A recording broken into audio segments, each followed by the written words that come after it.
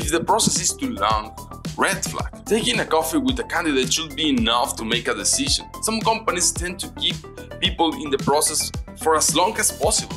The idea is to have a thick pipeline of developers engaged without a contract, so they hire from them where they sign a new customer. They will give you the other guy in their pipeline instead of finding a good match for your company. As a result, experienced developers don't participate in this kind of process.